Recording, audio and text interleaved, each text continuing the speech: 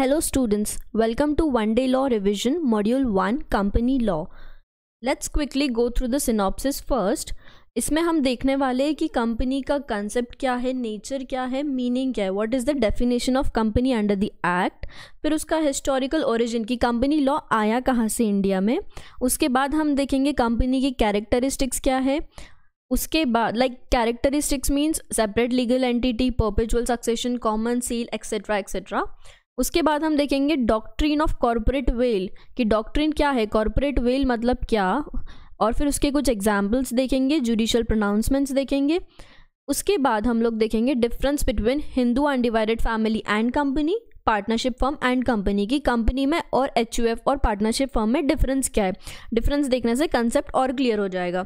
So let's get started concept nature and meaning of company सबसे पहले company word आया कहाँ से? तो कंपनी एक लैटिन वर्ड है, जिसको हम ब्रेक करेंगे कम पनीज कम मतलब क्या? विथ टुगेदर मतलब इन अ ग्रुप और पनीज मतलब क्या? ब्रेड की अगर पहले देखें तो एसोसिएशन ऑफ़ पर्सन मतलब ग्रुप ऑफ़ पर्सन जो लोग साथ में मिल लेते थे, यानी कि साथ में खाना खाते थे। तो जब हम पहले देखते थे तो मर्चेंट्स जो फेस्टिव गैदरिंग्स में साथ में होते थे बिज़नेस के मैटर्स डिस्कस करते थे, वहाँ हम कंपनी वर्ड यूज़ करते थे। अब क्या हुआ कि कंपनी को हमने ऐसे बनाया कि एक association of like minded persons की जो लोग को सेम बिज़नेस करना है, जो लाइक माइंडेड लोग हैं, वो सब एक साथ आएँगे। उनका एक कॉमन पर्पस रहेगा कि उनको एक बिज़नेस को चलाना है, कोई भी बिज़नेस अंडरटेकिंग तो यहाँ लाइक माइंडेड पर्सन आ गए और ये लोग ने मिलके एक बॉडी कॉरपोरेट की। तो ये जो कॉरपोरेट बॉडी है इसको हम एक लीगल पर्सन का स्टेटस देंगे। मतलब कंपनी को हम एक लीगल स्टेटस दे रहे हैं। लाइक अ पर्सन हम उसको ट्रीट करेंगे but separate from its members जिसने उनका फॉर्मेशन किया। तो अब कंपनी क्या हो गया कि एक सेपरेट लीगल एंटिटी है डिफरेंट फ्रॉम मेंबर्स बट हम उसको एज अ पर्सन ट्रीट करेंगे। ये एक इनकॉर्पोरेटेड कंपनी है। अब इसमें दो टाइप है। या तो जो कंपनी इनकॉर्पोरेट होती है तो अंडर स्पेशल एक्ट होगी, या तो normally under companies act for uh, example अगर स्पेशल एक्ट में देखें तो लाइफ इंश्योरेंस का एक अलग से एक्ट है एल आई सी एक्ट फिर SEBI sorry S B I का भी एक अलग से एक्ट है State Bank of India act उसके बाद अगर हम नॉर्मल कंपनीज़ एक्ट में देखें तो टाटा स्टील्स रिलायंस इंडस्ट्रीज़ ये सारी जो कंपनीज़ है वो हमारे कंपनीज़ एक्ट 2013 में आती है. 2013 के पहले कंपनीज़ एक्ट 1956 था उसको बाद में 2013 ने रिप्लेस किया था. अब अगर लीगल सेंस में देखें तो कंपनी एक association of both natural and artificial person है। इसको हमने इनकॉर्पोरेट किया है under the existing law of country companies act में डेफिनेशन दिया है कंपनी का section two sub section twenty में। This is a very important section company means a company incorporated under this act और under any other previous law मतलब क्या बोला है? डेफिनेशन बताता है कंपनीज़ एक्ट का कि कंपनी मीन्स एनी कंपनी जो हमने या तो इस एक्ट में इनकॉर्पोरेट किए, इस एक्ट में मतलब कंपनीज़ एक्ट 2013 में या तो under any other previous laws previous laws क्या क्या थे? 1956 था 1930 था, उसके पहले 1840 था। तो ये सारे जो प्रीवियस लॉज है, या तो उसमें कोई कंपनी इनकॉर्पोरेट हुई है, या तो 2013 में तो हम उसको as per companies act definition के हिसाब से उसको हम कंपनी बोलेंगे। अब कंपनी क्या है? एक लीगल पर्सन है लीगल एंटिटी है, जो उसके मेंबर्स से सेपरेट है। मतलब मेंबर्स अलग कंपनी अलग। इसका मतलब क्या है कि मेंबर्स कैपिटल इंट्रोड्यूस करेंगे कंपनी में और company as a legal person business करेगी। Company is rather a legal device for the attainment of social and economic end की जो मेंबर्स चाहते हैं कि वो बिज़नेस करें तो उनका जो एंड है कि उनको प्रॉफिट मोटिव है, उसके लिए उन्होंने एक कंपनी बना ली। अब लॉर्ड जस्टिस लिंडल उन्होंने कंपनी को क्या डिफाइन किया है? Company means what association of many person जो हमने देखा कि लाइक माइंडेड लोग एक साथ आके उनका एक ऑब्जेक्टिव फुलफिल करते हैं। तो यहाँ like minded people who contribute money और मनी वर्ड्स जो हम कैपिटल बोलते हैं कि लाइक माइंडेड लोगों ने बिज़नेस के लिए पैसा लगाया to a common stock normally हम शेयर बोलते हैं। और वो पैसा लगा के उन्होंने क्या डिसाइड किया कि आगे जो भी प्रॉफिट होगा लॉस होगा, हम उसको शेयर करेंगे। Common stock so contributed is denoted in money जो भी पैसा लोग लगा रहे हैं, उसको स्टॉक को कॉमन स्टॉक को हम मनी मनी लाएँगे लोग और उसको हम कैपिटल बोलते हैं। अब वो पैसा जो है, जो ला रहे, उनको हम मेंबर्स बोलते हैं और जो पैसा आ रहा है, उसको हम प्रपोर्शनेट में डिवाइड करके शेयर बोलते हैं शेयर या स्टॉक अब जो शेयर्स है, उसको हमेशा ट्रांसफरेबल रखेंगे। क्यों ट्रांसफरेबल कि कभी कोई अगर मेंबर चाहे तो उसके शेयर्स आगे ट्रांसफ़र कर सकता है तो राइट्स भी ट्रांसफ़र हो जाते हैं। अब हम लोग कंपनी का हिस्ट्री देखेंगे कि कंपनी एक्ट आया कहाँ से। अगर देखा इंडिपेंडेंस के पहले तो कंपनी लॉ जो आया, वो हमको ब्रिटिशर्स ने दिया। मतलब company law is a cherished child of English parents उसके बाद हमने उसको काफ़ी मॉडिफाई किया। सबसे पहले आया था जॉइंट स्टॉक कंपनीज़ एक्ट 1844 मतलब बिफोर इंडिपेंडेंस ये आया था इंग्लैंड में। इंग्लैंड का देख के इंडिया में सबसे पहला कंपनीज़ एक्ट आया 1850 में। 1850 के बाद, पहले तो 1850 में दो चीज़ें थी। कंपनीज़ एक्ट प्रोवाइड करता था रजिस्ट्रेशन ऑफ़ कंपनीज़ और दूसरा ट्रांसफरेबिलिटी ऑफ़ शेयर्स मतलब कि कंपनी का रजिस्ट्रेशन कैसे होगा और उसमें शेयर्स ट्रांसफ़र कैसे होंगे। बट कंपनी में और भी काफ़ी पॉइंट्स ऐड करने बाकी थे तो 1856 1857 में और अमेंडमेंट्स आए। उसके बाद बैंकिंग एंड इंश्योरेंस कंपनीज़ आया 1860 में। उसमें भी काफ़ी चीज़ें थी बट रेगुलेशंस वाइंडिंग अप ये सब पॉइंट 1850 में नहीं थे और 1860 में ऐड हुए। फिर 1882 में एक्ट को फिर से अमेंड किया एंड उसके बाद ये सारे एक्ट 1850, 1860, 1882 ये सबको कंसोलिडेट करके कंपनीज़ एक्ट 1930 बना। This was a major amendment जहाँ सारे एक्ट कंसोलिडेट हुए।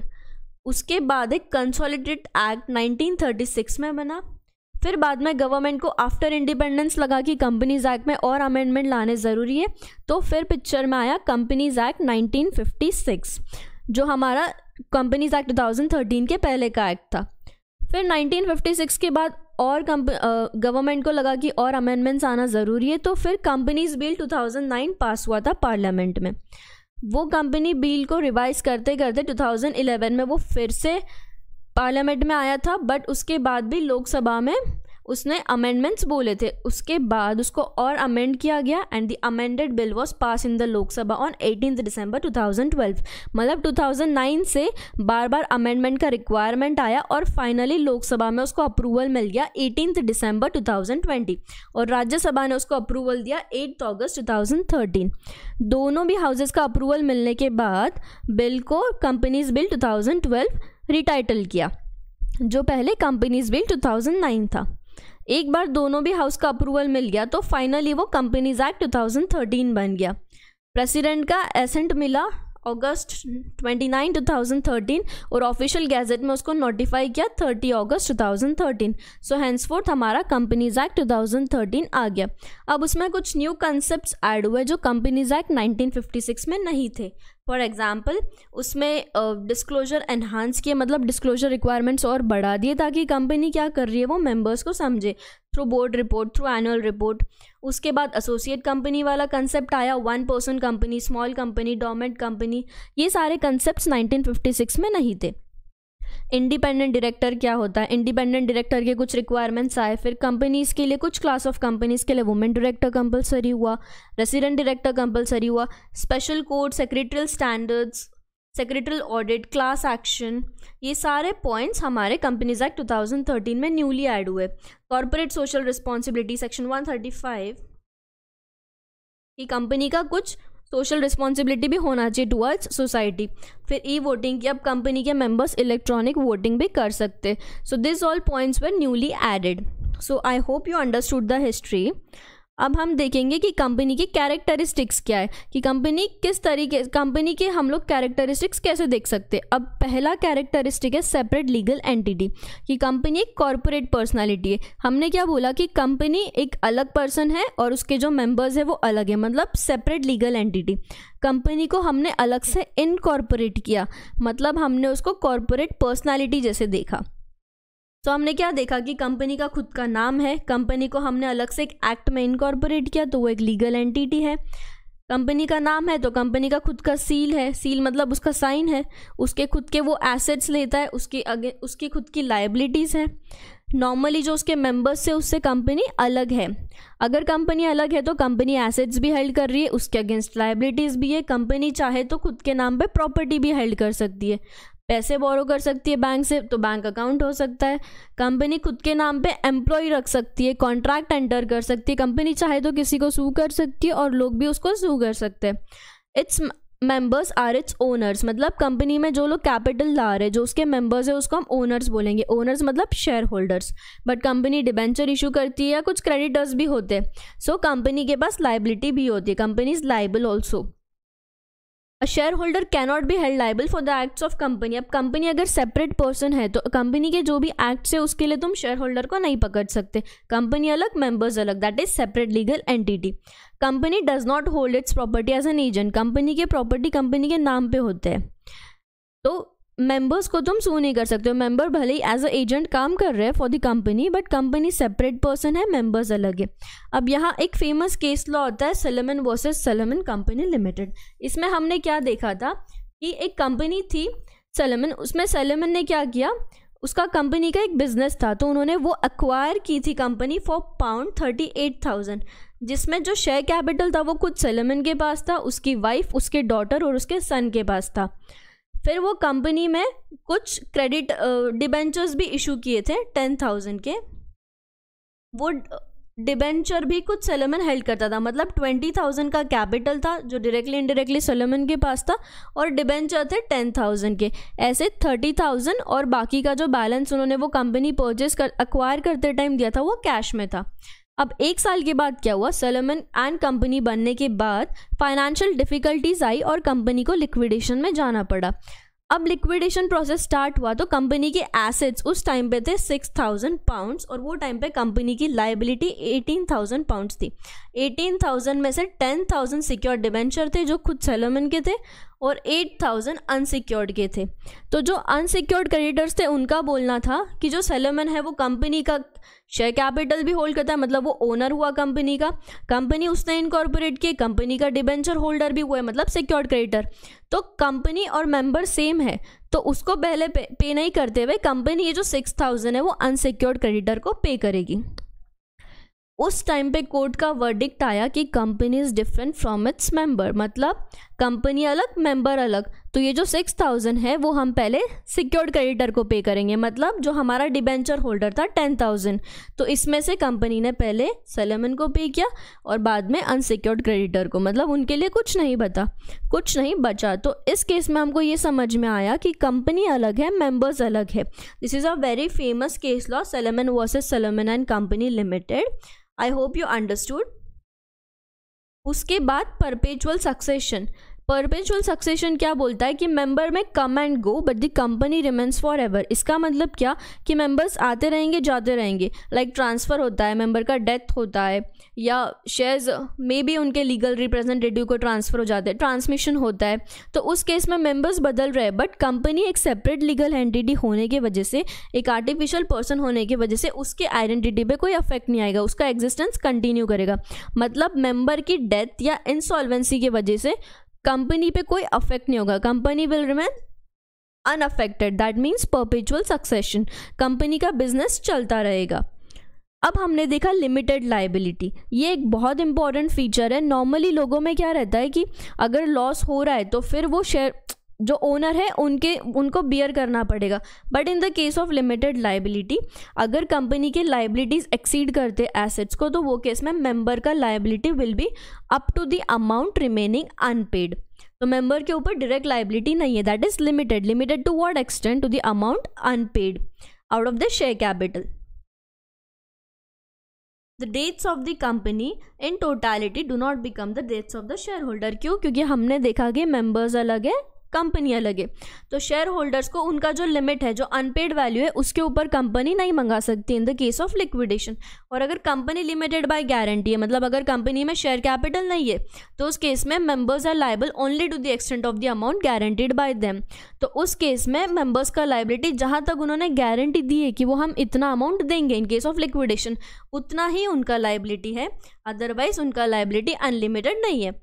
अगर अनलिमिटेड कंपनी है तो फिर वो केस में मेंबर का लाइबिलिटी अनलिमिटेड है। फिर उनको पूरा जितना भी लाइबिलिटी है वो उनको पूरा रिकवर करके देना पड़ेगा। उनको खुद के पॉकेट से देना पड़ेगा। But normally unlimited liability company होती नहीं है so it's a very rare concept तो लिमिटेड लाइबिलिटी ही होती है। सो so, फिर से कैरेक्टरिस्टिक देखते हैं। एक हमने देखा सेपरेट लीगल एंटिटी की कंपनी अलग है मेंबर अलग है। दूसरा देखा परपेचुअल सक्सेशन की। अगर मेंबर को कुछ हो भी गया तो भी कंपनी कंटिन्यू करेगी।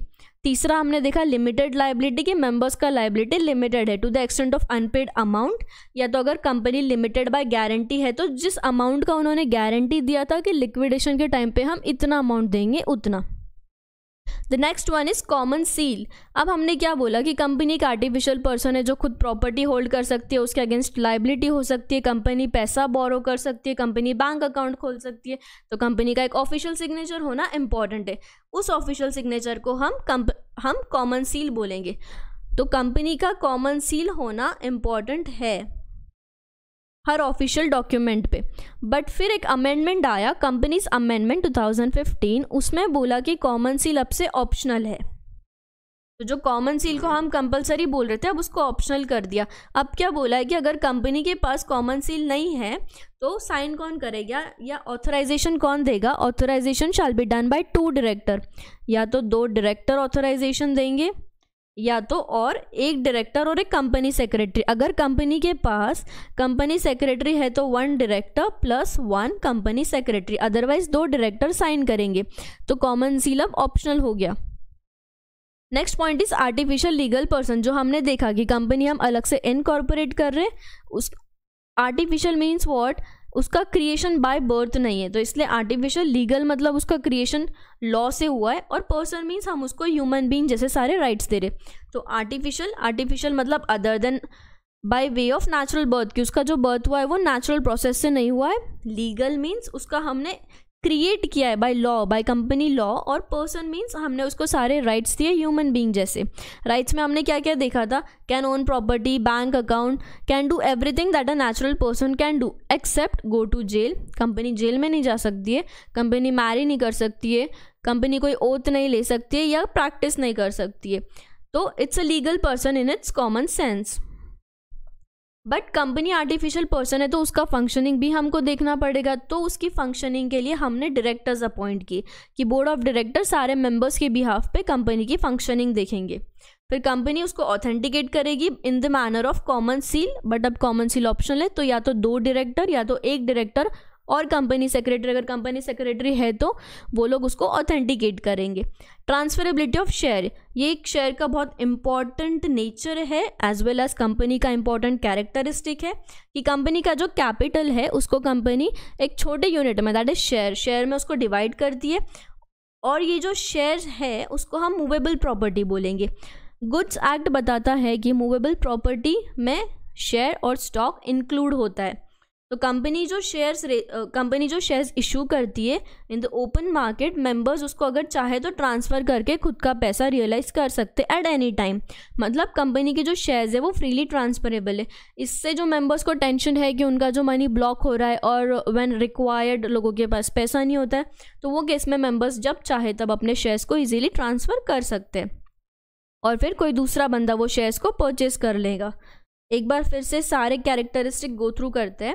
सेपरेट लीगल एंटिटी की कंपनी एक अलग इंसान है। कंपनी को हमने कॉर्पोर इनकॉर्पोरेट किया एज अ सेपरेट पर्सनालिटी इसमें हमने सलोमन वर्सेस सलोमन का केस देखा था, जहाँ कोर्ट का वर्डिक था कि कंपनी डिफरेंट है मेंबर डिफरेंट है।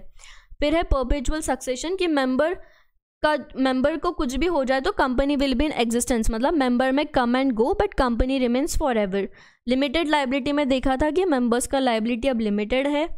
कॉमन सील की कंपनी को, कॉमन सील मतलब कंपनी का ऑफिशियल सिग्नेचर की कंपनी को उसके डॉक्यूमेंट्स पे कॉमन सील देना पड़ता है। बट नाउ इट्स ऑप्शनल तो अगर कंपनी सेक्रेटरी है कंपनी में तो एक डायरेक्टर और कंपनी सेक्रेटरी ऑथोराइज करेंगे। नहीं तो दो डायरेक्टर मिलके कंपनी के ऑफिशियल डॉक्यूमेंट्स को ऑथोराइज करेंगे।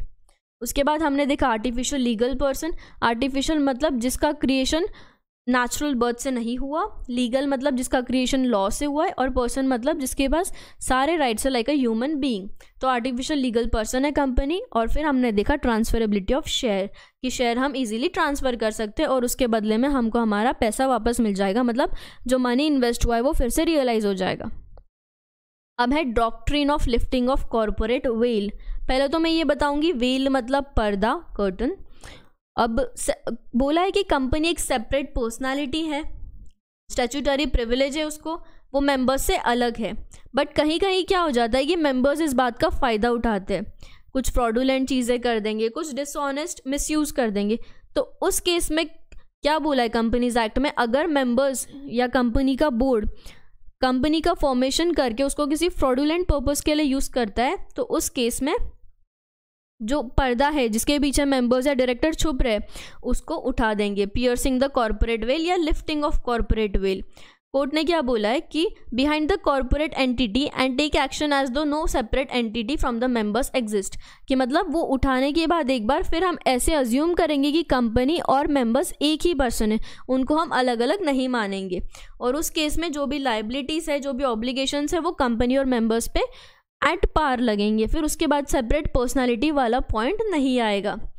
So that is a exception to separate legal personality उसके कुछ जुडिशल इंटरप्रिटेशन है कि किस केस में कंपनी का कॉरपोरेट वेल या सेपरेट लीगल पर्सनालिटी का एंड हो जाता है। Since the decision of Salomon versus Salomon company limited उसमें क्या बोला था कि पर्सन अलग है और कंपनी अलग है। उसके बाद क्या हुआ कि कुछ लोगों ने इसका फ़ायदा उठाने की कोशिश की। इसको मिसयूज़ किया, इसको मिस इंटरप्रेट किया।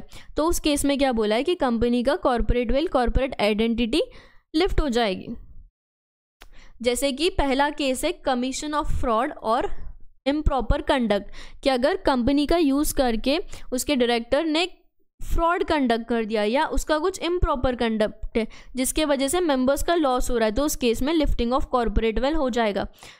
उसके बाद सेकेंड पॉइंट है पब्लिक पॉलिसी अगर कॉन्फ्लिक्ट विद पब्लिक पॉलिसी है तो again court lifts the corporate veil for protecting the public policy पहला पॉइंट था टू प्रोटेक्ट द मेंबर्स दूसरा to protect the public policy फिर तीसरा क्या है कि कंपनी क्यों फॉर्म हुई थी? कंपनी का सोल पर्पस था कि हम लोग टैक्स इवेड करेंगे टैक्स इवेजन करेंगे, कि क्या एंड कंपनी क्या कर रही थी? कोर्ट, कंपनी टैक्स इवेजन करने के लिए फॉर्म हुई थी। उस केस में कोर्ट क्या बोलेगा कि company is not a separate entity and make the individuals concern liable to pay the tax which they would have paid but for the formation of the company कि normally अगर company नहीं होती तो individual जितना tax पे करते हैं हम उनको उतना पे कराएँगे। मतलब कंपनी का सेपरेट लीगल एंटिटी वाला पॉइंट उन्होंने इग्नोर किया और लिफ्टिंग ऑफ़ कॉरपोरेट वेल हो गया। फिर एक और पॉइंट क्या है? एनिमी कैरेक्टर मतलब क्या? If the person having de facto control of its affair are resident in the enemy country मतलब कंपनी अगर फॉर एग्ज़ाम्पल एक्स कंट्री में फॉर्म हुई है बट जो भी उसके शेयर होल्डर्स है, वो वाई में है। और अभी एक्स और वाई में झगड़ा चल रहा है मतलब एनीमी कंट्री हो गई। तो अब एक्स से कोई भी मनी उधर ट्रांसफ़र नहीं हो सकता। उस केस में हम क्या बोलेंगे? जो शेयर होल्डर्स है, वो वाई कंट्री के और उससे हमारा झगड़ा है। तो अब मेंबर्स को हम उस कंपनी के मानेंगे। तो यहाँ सेपरेट एंटिटी वाला पॉइंट ख़त्म हो गया। यहाँ हम उसको एक मानेंगे और एक्स कंट्री का कोई भी बेनिफिट वाई में नहीं जाएगा, क्योंकि अब वो एनिमी कैरेक्टर आ गया। एक और पॉइंट ये है कि where it is found that a company has abuse its corporate personality for an unjust and inequitable purpose कि किसी अनजस्ट या इनइक्विटेबल पर्पज़ के लिए कंपनी ने क्या किया? उसका कॉर्पोरेट पर्सनैलिटी का फ़ायदा उठाया अब्यूज़ किया। उस केस में कोर्ट क्या बोलेगा कि हम लिफ्ट कर देंगे corporate veil and it could be lifted within when acts of a corporation are allegedly opposed to justice जहाँ justice को oppose हो रहा है convenience and interest of revenue जहाँ गवर्नमेंट के रेवेन्यू को इफ़ेक्ट हो रहा है या वर्कमैन या एरिया ऑफ़ पब्लिक इंटरेस्ट जहाँ पब्लिक इंटरेस्ट को अफेक्ट है या गवर्नमेंट का रेवेन्यू या वर्कमैन का इंटरेस्ट अफेक्ट हो रहा है, वहाँ पे कोर्ट बोल रहा है कि we will not hesitated in lifting the corporate veil मतलब ये जो केसेस थे, वहाँ कम कोर्ट का वर्डिक्ट है कि कोर्ट बोल रहा है हम लोग जब चाहे तब कॉरपोरेट वेल लिफ्ट कर देंगे। मतलब उसके बाद से कंपनी और मेंबर्स अलग नहीं है, उनको हम एक ही पर्सन मारेंगे। सेपरेट लीगल एंटिटी वाला पॉइंट एंड होता है। सो क्या क्या केसेस थे हम फिर से रिकॉल करते हैं? So one was commission of fraud और इम्प्रॉपर कंडक्ट बाय डायरेक्टर्स दूसरा था कॉन्फ्लिक्ट विद पब्लिक पॉलिसी ऐसा कोई कंडक्ट है कंपनी में जिससे पब्लिक पॉलिसी कॉन्फ्लिक्ट में है? उसके बाद अगर company was formed for the sole purpose of evasion of tax मतलब अगर तुम टैक्स चोरी करने के लिए इवेड करने के लिए कंपनी फॉर्म कर रहे हो, बाद में अगर एनिमी कैरेक्टर है तो फिर वो केस में कॉरपोरेट वेल लिफ्ट होगा। या फिर कंपनी ने अब्यूज़ किया मतलब फ़ायदा उठाया और कॉरपोरेट वेल का और उन्होंने कोई अनजस्ट या इनइक्विटेबल पर्पज़ के लिए कंपनी को यूज़ किया। तो ये सारे केसेस में लिफ्टिंग ऑफ़ कॉरपोरेट होगा। Court will lift the corporate veil मतलब कंपनी और मेंबर्स अलग अलग नहीं रहेंगे। Now will see the difference between H U F and company H U F Hindu undivided family business इसमें हमने क्या देखा था कि एच यू एफ़ में सारे फैमिली के मेंबर्स मतलब होमोजेनियस मेंबर एक ही घर के लोग मिलके बिज़नेस कर रहे हैं। बट कंपनी में नॉर्मली अलग अलग मेंबर्स इन्वेस्ट कर सकते हैं तो that is heterogeneous it's not कि एक ही फैमिली के मेंबर्स मिलकर इन्वेस्ट करेंगे सो हेट्रोजेनियस अब एच यू एफ़ में हमने क्या देखा था कि कर्ता मतलब जो सीनियर मेंबर है, वो उसके पास सोल अथॉरिटी रहेंगी बिज़नेस की, उसका डिसीज़न बाइंड करेगा।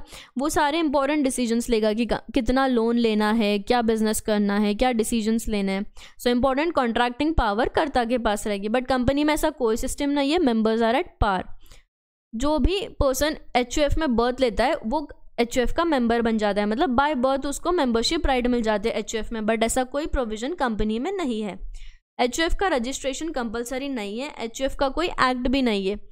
अगर मेंबर ट्वेंटी के ऊपर भी जाते तो भी HUF में इट्स ओके क्योंकि Hindu undivided family means all the members in the family but company का रजिस्ट्रेशन कंपलसरी है इन कंपनीज़ एक्ट 2013 या तो किसी प्रीवियस लॉ में कंपनी का रजिस्ट्रेशन होना इंपॉर्टेंट है और it's compulsory so I hope you clear with the difference between H U F and company अब हम देखेंगे difference between partnership firm and company कि पार्टनरशिप फर्म और कंपनी में क्या फ़र्क है। सबसे पहला तो maybe I may I should call it a disadvantage कि पार्टनरशिप फर्म और जो उसके पार्टनर्स हैं, वो लोग को डिस्टिंक्ट नहीं मानते, उनको हम एक ही मानते हैं। मतलब कि पार्टनर्स और पार्टनरशिप फर्म एक ही है बट कंपनी को हमने डिस्टिंक्ट लीगल पर्सन बोला है। तो पार्टनरशिप फर्म के जो भी प्रॉपर्टी है, वो इंडिविजुअल के प्रॉपर्टी रहेंगे बट यहाँ कंपनी डिस्टिंक्ट लीगल पर्सन होने की वजह से वो कॉन्ट्रैक्ट करती है और वो खुद के नाम पे प्रॉपर्टी हेल्ड कर सकती है। अब जो पार्टनरशिप फर्म के क्रेडिटर्स होते हैं, अगर पार्टनरशिप फर्म उनको पे नहीं कर पाए तो फिर पार्टनर्स मिलके जॉइंटली सेवरली उनको पे करेंगे टू द क्रेडिटर्स बट जो कंपनी के क्रेडिटर्स है, वो कंपनी के अगेंस्ट ही केस फ़ाइल कर सकता है नॉट अगेंस्ट द मेंबर्स तो वो कंपनी के अगेंस्ट ही प्रोसीड कर सकते हैं. अब जो पार्टनर्स है, वो कंपनी जो फर्म के पार्टनर्स है, वो एजेंट्स है. उनका काम है कि काम पार्टनरशिप फर्म के लिए काम करना, जो भी लाइबिलिटीज़ है, अगर कोई इनकर हो रही है तो they will clear it out of the partnership firm या तो वो खुद से करेंगे। बट जो कंपनी के मेंबर्स है, वो एजेंट्स नहीं है तो उनका काम नहीं है कि कंपनी की प्रॉपर्टी डिस्पोज करना या जो लाइबिलिटीज़ है, वो उनको खुद के पॉकेट से पे नहीं करनी है। फिर partner cannot contract with this firm partner खुद की फर्म से कॉन्ट्रैक्ट नहीं कर सकता क्योंकि कोई सेपरेट रिलेशन नहीं है, दोनों एक ही है। बट मेंबर और कंपनी अलग है तो वो एक दूसरे से कॉन्ट्रैक्ट कर सकते हैं। पार्टनरशिप के जो शेयर्स है, वो नॉर्मली ट्रांसफ़र नहीं होते हैं। जब तक सारे पार्टनर्स अग्री नहीं करते या उनकी पार्टनरशिप डीड में कोई रिटर्न पॉइंट नहीं हो अग्रीमेंट में बट कंपनी के शेयर्स हम नॉर्मली ट्रांसफ़र कर सकते हैं। पार्टनर का लाइबिलिटी पार्टनरशिप में अनलिमिटेड है और शेयर होल्डर का लाइबिलिटी लिमिटेड है। आइदर बाय शेयर मतलब अनपेड वैल्यू जो भी शेयर पे बाकी है फॉर एग्जांपल दस रुपये का शेयर है, पाँच रुपये पे किए हुए तो पाँच रुपये का लाइबिलिटी बाकी है मतलब इट्स लिमिटेड कि ये तुमको पाँच रुपये तक ही पे करना है। और अगर गारंटी है तो जितना भी अमाउंट का गारंटी दिया था कि लिक्विडेशन के टाइम पर हम इतना अमाउंट पे करेंगे तो दैट इज़ कि तुम्हारा लाइबिलिटी गारंटीड अमाउंट पुरता ही है तो मतलब इट्स लिमिटेड फिर हमने देखा कि अगर पार्टनरशिप फर्म में किसी पार्टनर का डेथ हो जाए या कोई इंसॉल्वेंट हो जाए तो पार्टनरशिप फर्म डिजॉल्व होती है. या तो फिर पार्टनर्स को थ्रू अग्रीमेंट न्यू अग्रीमेंट बना के उसको कंटिन्यू करना पड़ता है. But company has perpetual succession मतलब अगर किसी मेंबर का डेथ हो जाए या वो इंसॉल्वेंट हो जाए तो उससे कंपनी को फ़र्क नहीं पड़ता। Company continues so I hope you are clear with this also एक बार फिर से सिनॉप्सिस देखते हैं। तो हमने देखा कि कंपनी का कंसेप्ट क्या है। हमने कंपनी वर्ड को ब्रेक किया था इट्स अ लैटिन वर्ड फिर कंपनी का नेचर उसके कैरेक्टरिस्टिक्स देखे हमने कि कंपनी के कैरेक्टरिस्टिक्स क्या क्या है। वो एक सेपरेट लीगल एंटिटी है perpetual succession common seal liability फिर उसके शेयर्स ट्रांसफरेबल है। और हमने कंपनी का हिस्टोरिक ओरिजिन देखा कि पहले companies act, company law England में आया, फिर उसके बाद इंडिया में आया, फिर उसमें कितने अमेंडमेंट्स हुए एंड फाइनली 1956 के बाद कंपनी बिल 2009 आया, जिसको 2012 में अप्रूवल मिला और फाइनली हमारा कंपनीज़ एक्ट 2013 बन गया। फिर हमने देखा doctrine of corporate veil corporate veil मतलब कंपनी को जो हमने सेपरेट एंटिटी माना that is corporate veil but इसके, इसका फ़ायदा उठा के कुछ लोग उसको मिसयूज़ कर रहे तो कोर्ट बोल रहा है कि अगर मिसयूज़ हुआ तो हम उसको लिफ्ट कर देंगे लिफ्टिंग ऑफ़ कॉरपोरेट वेल फिर हमने डिफरेंस देखा between company and various form of organisations जैसे कि एचयूएफ और कंपनी में क्या डिफरेंस है पार्टनरशिप फॉर्म और कंपनी में क्या डिफरेंस है. So this topic gets over here I hope you understood thank you